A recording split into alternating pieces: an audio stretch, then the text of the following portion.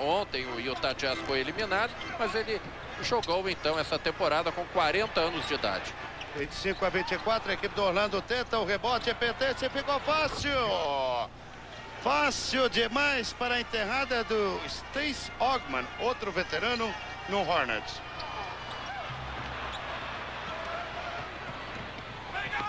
Davis, novamente, o Charlotte começa a ditar o ritmo aqui, Doc Rivers já prestando atenção. Stacey Ogman roubando a cena neste início de segundo período. Orlando ainda não marcou. T-Mac. O que, que o Charlotte está fazendo agora é o seguinte, está penetrando, está invadindo o garrafão do Magic. E, e, você pode fazer isso com muita velocidade, porque o Patrick Ewing fica parado ali embaixo do, da cesta, não fazendo nada. Ele tem que se movimentar mais. Trabalha por aqui. Charlotte, dois pontos a mais, vai bem. 31, 26, 10 e 40 praticamente por jogar. E a pergunta aqui, Rez, muita gente no Brasil, inclusive o Theo lá do Rio Grande do Norte, que pratica nado entre Natal e Fernando de Noronha, é terrada do Temec, com raiva quer saber se o Nenê vai ser escolhido no draft da NBA. Bom, se ele vai ser escolhido, a gente não sabe. Acreditamos que sim, mas que ele vai estar no draft, vai. Pare. Inclusive, a nossa informação já do Rio de Janeiro é que ele já não pertence mais ao Vasco e ele está se preparando para o draft, para ser uh, escolhido no draft que deve ocorrer no final da temporada da NBA. 26 de junho. Timé aparece agora com duas cestas. 33 a 30, Charlotte na frente por 3. Aí está o Tracy McGrady respondendo aqueles ataques à sua... 35 Charlotte, 33 Orlando. Estamos aqui na quarta partida desta primeira série de playoffs. Erro que sobra aqui para o Monte Williams. O ala revelado pela Notre Dame. Do outro lado, toco aparece Boneta e lá vem o Hornets. Vai segurando o Lineila. No Lineila com o Tractor Trela. Parar o Tractor Trela. Polícia no caminhoneiro. O Troy Hudson é o melhor reserva, a melhor notícia para o Doc Rivers. Veja aqui como ele puxa essa rápida transição da defesa, mas ele não espera que o Eldon Campbell faça um toco sensacional com a ajuda da tabela e salva o chá. Bom para vista.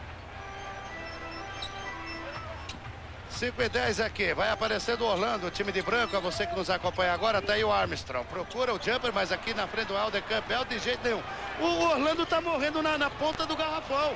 E aí o contra-ataque só da Charlotte, é O Elden Campbell tirou a bola ali do jogador, o Daryl Armstrong do Orlando Médio, como tirar doce de uma criança. Você fica falando em cenoura, ele tá tirando o doce da criança. Não vai tirar a cenoura do pessoal do bonde da cenoura lá da Tijuca. 42, 35 por aqui. O Trace McGrady está jogando e não é fingimento. Ele dá para ver na expressão facial dele que ele está sentindo várias dores. É o tal negócio que eu falo, a maratona de jogos durante a temporada normal. Parece aí no playoff, o jogador parece a metade do jogador também tem o seguinte, todo mundo fala em mando de quadra, ter o mando de quadra, a gente está vendo como não faz muita diferença ter o mando de quadra, porque o Orlando foi lá, ganhou a primeira partida do a segunda partida do Charlotte, tirou o mando de quadra do Charlotte, o Charlotte vem aqui, está ganhando a segunda consecutiva e eliminando o Magic na casa do Magic, porque o Charlotte joga muito bem fora de casa.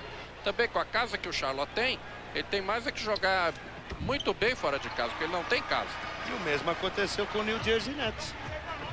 O Indiana foi lá, roubou a primeira mando de casa de cara e foi jogar em cá, perdeu. E hoje joga uma partida 4. E com o San Antonio Spurs o mesmo. Mesma coisa. 42, 36. E o Tadjess também. Tadjess ganhou uma em Sacramento e levou ferro em casa. Duas vezes. Arremesso certo por aqui. Alden Campbell aparecendo por aqui. O pivô que jogava na equipe do Lakers. Cansou lá de ser reserva do Shaquille O'Neal. Veio para o Hornets. O Campbell aparecendo com sete pontos na partida. Tentativa do Orlando. O Orlando vai se perdendo, Rez. Agora dá para ver. Mike Miller entrou machucado e machucou o olho. Entrou machucado do tornozelo e acabou machucando o olho. O Magreira entrou machucado das costas e acabou escorregando aquela hora não conseguem conter os jogadores. Agora uma marcação dupla em cima do Elton Campbell. O Charlotte continua pegando rebotes ofensivos. E agora vai administrando também o cronômetro. Tem o Elden Campbell, Horace Grant em cima dele. Campbell buscando o seu nono ponto, a marcação dupla e ele andou. Ele andou, tá vendo? A marcação dupla apareceu ali o Pat Garrett para ajudar o Grant. Dançou o Elden Campbell, é isso aí que tem que fazer. O, Pat, eh, o Elden Campbell achou que tinha sido empurrado pelo Pat Garrett neste lance, mas o juiz acabou dando que ele andou com a bola. Ele foi se virar, se livrar do Horace Grant, quando virou para a direita, deu de cara com o Pat Garrett. É, deu, deu certo a marcação dupla agora sobre o Elden Campbell. Recuperação feita aí pelo T-Mac. T-Mac vai segurando, tentou de três. Tá aparecendo o pessoal da Rua Júlia. Lá vem T-Mac. Rebote do Grant na zona morta. Outro erro da equipe do Orlando Magic. Até o momento, Nestrovski, sete a seis arremessos de três tentados. Um conectado para o Orlando, que foi o oitavo melhor time em aproveitamento de três durante o campeonato normal. Grant briga pelo rebote, não fica com ele. Ah, virou, virou moleza. Virou moleza, Bayron Davis conecta. Vai assinalando aí o seu nono ponto na partida. 10 pontos, maior vantagem do Charlotte no jogo. Agora, o Orlando se despedir do campeonato perdendo duas consecutivas em casa frustrante aí para o torcedor. Mas o Charlotte está muito bem aplicado, também tem que ser dado crédito ao Charlotte. Marca em cima, não dá espaços, não deixa uma segunda oportunidade para pontos para o Magic. Eles estão fazendo a tática que o Paul Silas preparou para eles, que ele arquitetou. Quer dizer, o Charlotte está fazendo o que tem que fazer. 46-36, Charlotte por uma dezena no segundo período. É, e ganhou muita confiança, eh, Iva, o Orlando depois da entrada do Baron Davis. Campbell estava completamente livre, ninguém percebeu. David Wesley tenta dando aro por aqui, rebote. Mais uma vez para a equipe do Charlotte Hornets. É o George Lynch por ali. George Lynch que estava no Philadelphia. Aí o P.J. Brown. P.J. Brown Olha, o Charlotte não, fez a cesta agora porque os jogadores uh, erraram. Mas o Charlotte pegou uns três rebotes ofensivos, até que o P.J. Brown acabou pisando fora da quadra e por isso que o Charlotte não fez esses pontos. Continua o Magic não dando combate no garrafão a P.J. Brown, a George Lynch e a Elden Campbell.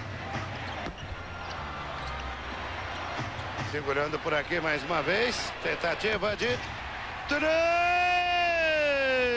Só o T-Mac mesmo para acertar de longe, para dar alegria ao torcedor do Magic. 12 pontos para o Tracy McGrady. Quem sabe aí do perímetro da zona de 3, o Magic pode ainda reverter essa situação. Vai aparecendo mais uma vez a equipe do Hornets. De três! Virou festival, Regis. Dá resposta com a mesma moeda. O milionário que não trabalha. É só enviar um e-mail para ele, ele dá a receita. 18 partidas nas últimas duas temporadas e faturando aí pelo menos uns 15 a 20 milhões de dólares. Davis de novo roubando a cena outra vez, abre 10 pontos. A equipe do Charlotte no finalzinho do período. Miller entrou, mas saiu. E assim termina. Doc Rivers vai ter que encontrar aí a fórmula para virar essa partida no segundo tempo. Vai ter que ter uma conversa franca e séria com suas feras lá no vestiário. 51-41, Charlotte Hornets querendo avançar à semifinal do leste hoje mesmo.